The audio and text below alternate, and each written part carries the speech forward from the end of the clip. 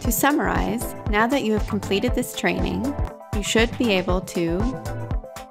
create an Articulate Storyline 3 course from scratch, use a storyboard to guide you as you create your course, incorporate interactive elements such as animations, buttons, hotspots, and audio narration, use triggers to create animation paths, use cue points to adjust timing of objects in the timeline,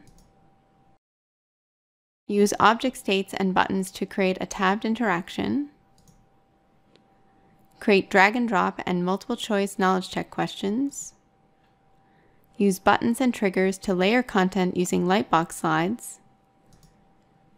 and describe how to publish your Articulate Storyline 3 course to the web, Articulate Online, an LMS, a CD, or Word.